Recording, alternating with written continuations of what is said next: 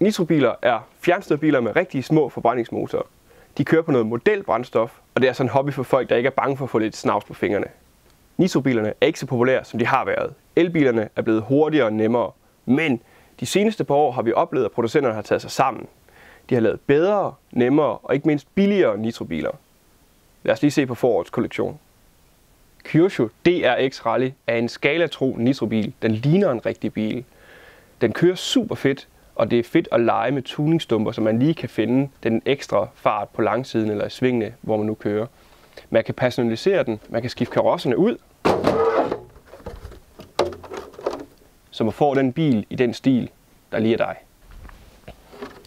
Jeg er super vild med Kyosho DRX Rally.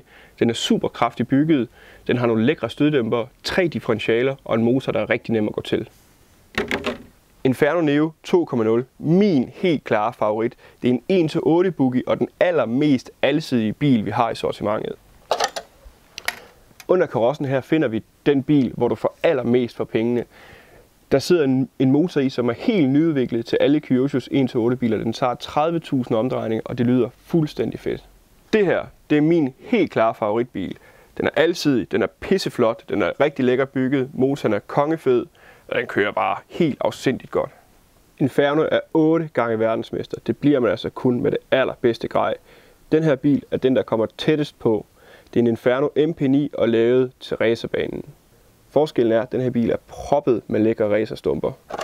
Så hvis du skal køre race og være først over målstregen, så er det Inferno MP9 RTR.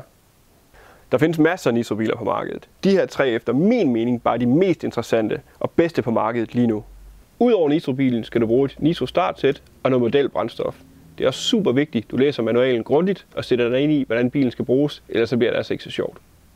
Og husk, ham der har de sorteste fingre, det er ham der har det sjovest.